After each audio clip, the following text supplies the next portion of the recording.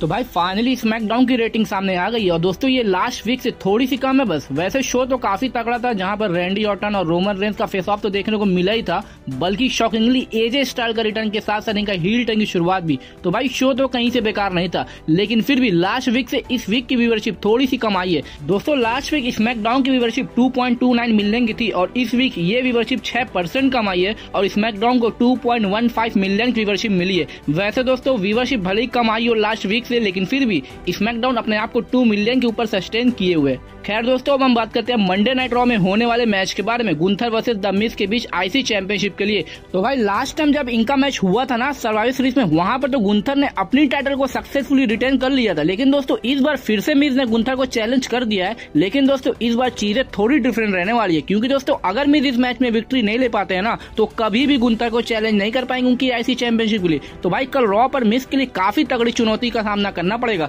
वैसे दोस्तों, जिस हिसाब से गुंथर का रेंज चल रहा है ना, उसको देखकर तो ऐसा नहीं लग रहा कि मीज उनको हरा पाएँगे।